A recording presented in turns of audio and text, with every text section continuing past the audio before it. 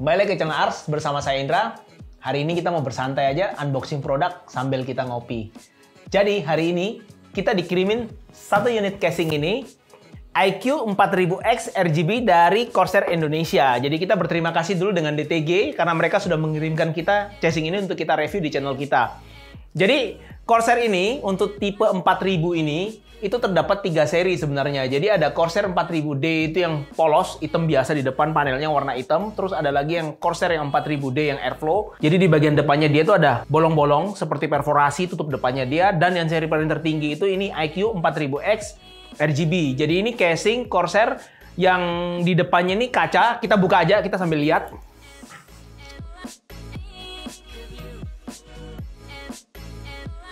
Nah, ini bisa kalian lihat. Jadi casing yang dikirimkan ke kita hari ini berwarna putih Corsair IQ 4000X RGB.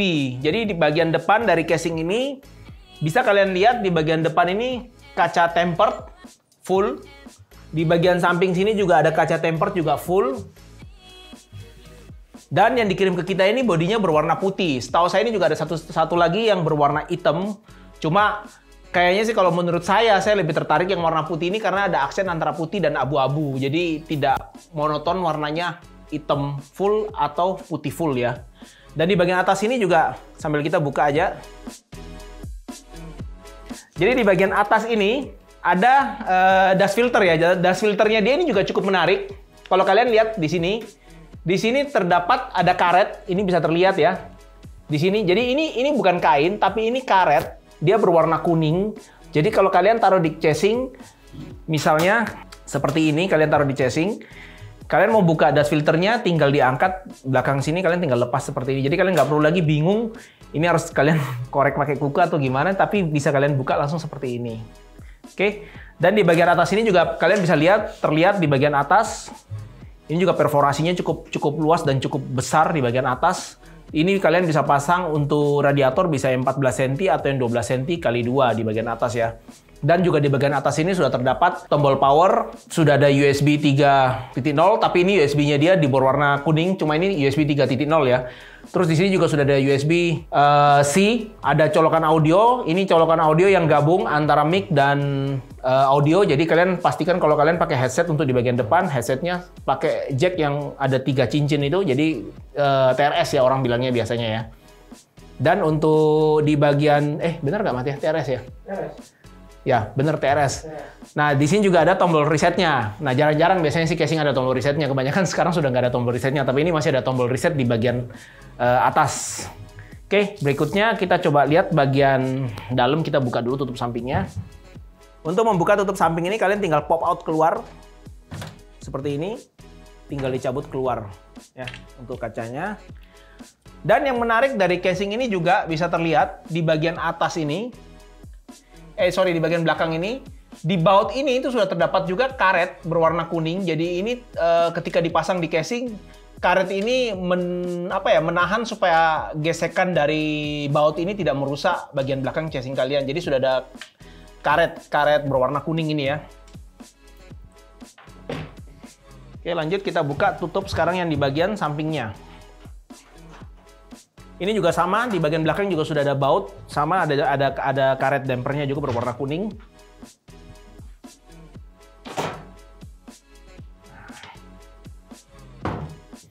Nah, ini bagian sisi bagian belakang bisa terlihat di sini sudah ada tray untuk SSD 2,5 inci, ada dua. Dan di bagian belakang sini juga sudah terdapat uh, ini harusnya RGB hub dari Corsair ya untuk IQ ya, karena ini menuju ke fan tiga fan yang ada di bagian depan. Jadi di sini sudah ada satu, dua, tiga, empat, lima. Jadi bisa lima. Dan ini nanti menuju saya bongkar nanti saya coba bongkar juga kita lihat dalamnya. Di belakang sini sudah ada untuk manajemen kabel juga. Cukup bagus. Kita coba lihat. Sambil kita lihat kotak untuk paket penjualan casing ini apa yang disertakan.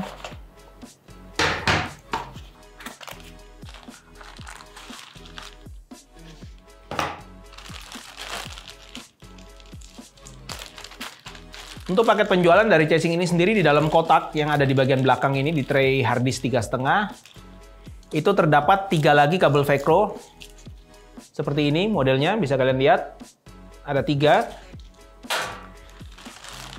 Kalian juga sudah diberi lagi tambahan cable ties, ada beberapa biji, bisa dilihat.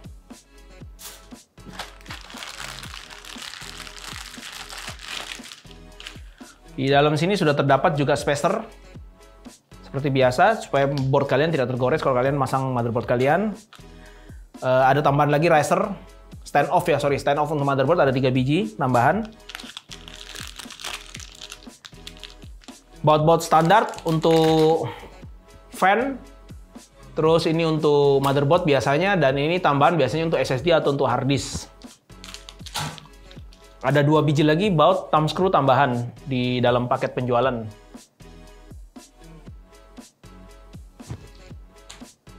Oke. Berarti untuk kabel, kalau kalian mau masang untuk fan yang ada tiga di depan ini, kalian berarti membutuhkan uh, fan hub. Kalau memang di motherboard kalian tidak cukup untuk uh, colokan 4 pin fan ini ya. Karena di sini fan-nya cuma terdapat tiga seperti ini aja dan tidak ada uh, splitternya ya. Jadi kalian harus masang ini tiga-tiganya ke motherboard kalian atau kalian perlu splitter tambahan. Oke lanjut kita lihat lagi. Oke ini kalau untuk kabel ini ini kabel dari RGB hub punyanya Corsair yang IQ ini jadi ada power SATA dan ini juga untuk dikonekin ke USB 2.0 ya. Jadi kalian bisa kontrol untuk ini uh, lampu LED-nya melalui software dari Corsair-nya yang IQ. Oke, lanjut kita lihat sebentar. Di sini ada kabel USB 3.1. Oke. Kabel USB yang untuk 3.0. Di sini terdapat kabel audio seperti biasa dan kabel-kabel front panel. Oke, semuanya udah. Di bagian bawah sini, itu juga terdapat dua slot untuk hard disk 3,5 inci. Jadi kalau kalian pakai hard disk 3,5, kalian gak usah bingung karena di sini masih bisa disupport untuk dua casing 3,5. Nah, di bagian bawah sini kalian bisa lihat, ini ada terdapat dua-dua biji baut. Ini untuk kalian bisa lepas. Kalau kalian misalnya nggak pakai untuk tray hard disk 3,5 ini, bisa kalian copot. Tinggal dibuka aja dua baut ini tinggal di pop out keluar seperti ini. Jadi kalian bisa lepas. Kalau kalian nggak pakai jadi di sini jadi lebih lowong dan kalian bisa mengatur kabel lebih bagus di bagian bawah sini. Oke, sekarang di sisi bagian dalamnya. Di bagian belakang kalian bisa pasang untuk fan berukuran 12 cm dan di bagian belakang ini pun juga sudah terdapat tray. Nah, ini bisa kalian lihat di bagian sini. Jadi kalian bisa pasang uh, vertical GPU kalau kalian mau masang cuma untuk paket penjualan ini tidak disertakan. Jadi kalian mesti menambah bracketnya terpisah ya. Dan di belakang sini juga sudah ada seperti biasa PCI slot, ada 7 ukuran standar berarti ya untuk motherboard ATX ya. Dan untuk support motherboard di sini tertulis kalian bisa pasang sampai extended ATX, EATX. Cuma untuk pastinya kita mesti ngukur lagi, nanti kita akan coba bikin build-nya dengan menggunakan casing ini untuk kita bisa tahu sampai seberapa fleksibel casing ini, penataan kabel-kabelnya di dalam. Tapi yang pasti sih di bagian atas ini, ini terlihat ada space cukup cukup cukup lah ya saya bilang ya nggak bisa nggak nggak saya bilang luas sekali tapi cukup untuk kita mengatur jalur kabel dan sudah ada tiga bolong di bagian atasnya jadi untuk kabel fan dari atas kalau kalian misalnya masang radiator di bagian atas kabelnya bisa kalian lewatkan di bagian atas ini untuk keluar ke belakang langsung jadi tidak perlu melalui depan di bagian bawah bisa kalian lihat di sini di bagian bawah ini sudah ada juga jalur untuk kabel keluar menuju ke board ataupun misalnya menuju ke graphic card yang kalian pasang di bagian sini ya. Jadi kabel power PCIe masih bisa keluar lewat bagian bawah sini. Dan di bagian sini juga tidak tertutup rapat.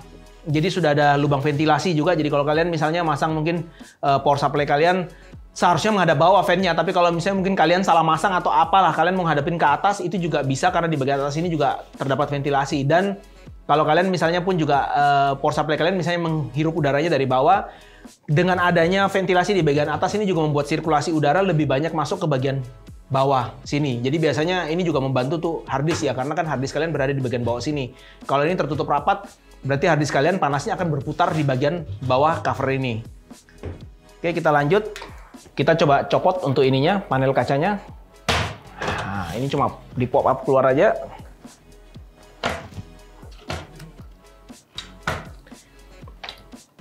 Oke, ini kaca tempernya udah lepas. Kalian tinggal tarik keluar aja. Di sini ada kuncian, ada 4, 1, 2, 3, 4. Nah, untuk panel kaca yang berada di bagian depan ini, eh, kita belum tahu kalau untuk seri 4000D dan 4000D Airflow apakah bisa saling ditukar atau enggak.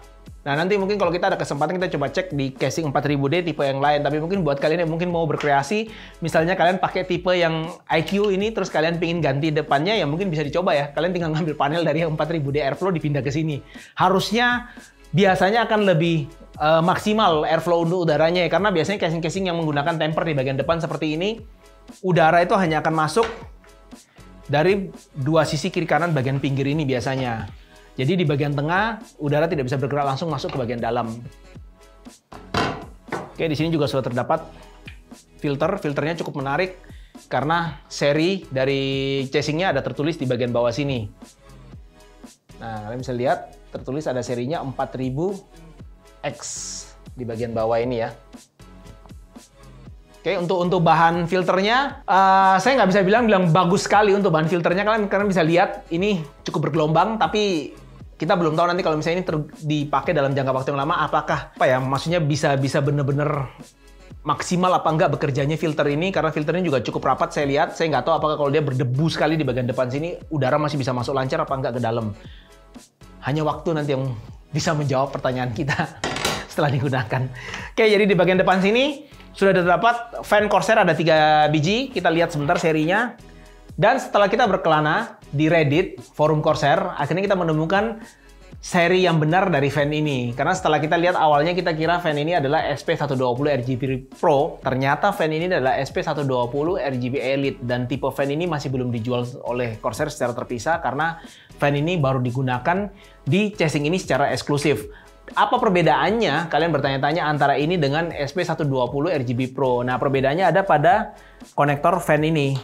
Jadi yang di fan uh, Elite ini dia menggunakan konektor PWM 4 pin seperti ini. Jadi bisa kalian lihat uh, terlihat jelas gak ini Mat ya kalau dari atas ya? Oke. Okay. Seperti ini ya, 4 pin seperti konektor header fan 4 pin biasa. Sedangkan kalau kalian pakai yang SP120 Pro RGB, fan-nya hanya menggunakan satu speed. Jadi kalian tidak bisa mengatur speed fan-nya berbeda dengan yang tipe Elite ini. Tapi kalian nggak usah khawatir kalau kalian ingin menambah fan lain di casing kalian, kalian juga bisa gunakan SP120 Pro RGB yang biasa yang sudah ada selama ini karena fungsi RGB-nya itu dia menggunakan ARGB jadi bisa disupport oleh not RGB yang ada di dalam casing ini. Oke. Kita lanjut berikutnya. Oke, sepintas saya coba tes juga untuk kompatibilitas radiator. Oke, jadi kita di sini sudah ada radiator, ada ini radiator 280. Oke, kita coba tes fitting. Nah, bisa terlihat ya untuk radiator 280 ini masih bisa terpasang di bagian atas kurang lebih seperti ini posisinya. Jadi masih ada space di bagian bawah untuk motherboard kalian kurang lebih seperti ini. Dan kalian juga bisa pasang untuk radiator 240 di bagian atas. Sedangkan di bagian depan, kita coba fitting. Oke, di bagian depan bisa terlihat, kalian bisa lihat dari posisi ini. Di bagian sini radiator 360 masih bisa terpasang dengan baik dan masih bisa masuk dengan normal. Jadi di depan fan 120 kali 3. Jadi kalian masih bisa pakai sesuai dengan ini ya. Apa eh, standar dari casing ini dan di bagian depan harusnya kalian juga masih bisa pasang radiator 280. Oke, karena 280 harusnya masih bisa masuk. Nah, 280 masih bisa masuk di bagian depan. Jadi bisa dilihat di sini 280 masih bisa terpasang. Oke, cuma kalau untuk untuk apa ya? Kita ngomong estetika sih harusnya 360 jauh lebih bagus kalau dipasang di bagian depan. Nah, di bagian bawah ini juga terdapat dust filter untuk power supply kalian. Jadi kalau kalian mau bersihkan bisa dipasang dan dilepas juga dengan mudah. Oke, kayaknya cuma ini yang ada dalam sini dan terakhir ini juga ada manual book dari casing ini. Di sini sudah ada penjelasan cukup lengkap juga. Bisa kalian lihat kurang lebih seperti ini sudah terdapat penjelasan-penjelasan standar dari casing ini. Nah, seperti biasa, kalian kalau mau masang casing, selalu baca dulu manual booknya, jangan asal main tancap terutama di kalian lihat di bagian belakang sini ada note untuk RGB ini jangan sampai kalian salah pasang. Kalau kalian salah pasang, bukan hanya note RGB kalian yang rusak, tapi juga semua LED fan kalian yang berada di bagian depan ini pasti akan mati. Nah, untuk penampilan casing ini, kita coba tes nyalain sebentar untuk RGB di depannya. Kita ingin tahu seperti apa efek dari RGB yang ada di casing ini. Bisa kalian lihat di bagian depan kita udah nyalain untuk fan-nya. Jadi terlihat tiga fan yang di depan ini uh, eh, RGB karena dia nyalanya bukan hanya satu warna satu warna tapi kalian lihat dia nyalanya bisa spektrum. Nah, buat kalian yang ingin mengontrol warna dari fan ini, kalian perlu ingat kalian harus pakai aplikasi IQ dari Corsair. Jadi kalian nggak bisa masukin ke board kalian dan kalian berharap dia bisa dikontrol dari board kalian. Itu tidak bisa. Jadi kalian harus pakai software terpisah dari Corsair. Nah, kalau kalian misalnya tidak tidak mau menyambungkan kabel USB dari uh, Note RGB casing ini ke board kalian ya bisa saja kalian nyalakan seperti yang kita bikin sekarang ini. Kalian cukup pasang power SATA-nya saja dan kalian pasang power untuk fan-nya. Udah bisa nyala seperti ini tapi kalian nggak bisa mengatur warna LED yang ada di depan. Buat kalian yang tertarik untuk membeli casing ini, casing ini dibanderol dengan harga 1950 sampai 2 juta. Kurang lebih ya di marketplace, kita udah coba cek di beberapa marketplace, harganya kurang lebih di kisaran segitu. Dan produk ini harusnya sudah tersedia di Indonesia. Jadi buat kalian yang ingin beli casing ini, kalian bisa langsung segera menuju ke marketplace dan membeli casing ini. Sekian video kita kali ini. Buat kalian yang suka dengan video kita kali ini, kalian bisa like, share, dan subscribe channel kita. Dan buat kalian yang punya pertanyaan seputar casing ini, kalian juga bisa bertanya, kita akan berusaha menjawab di kolom komen. Dan buat kalian tertarik dengan artikel-artikel, kalian kalian bisa kunjungi website kita di arts.co.id dan buat kalian yang punya Instagram, kalian juga bisa follow Instagram kita di arts.id media. Saya Indra, sampai ketemu di video selanjutnya.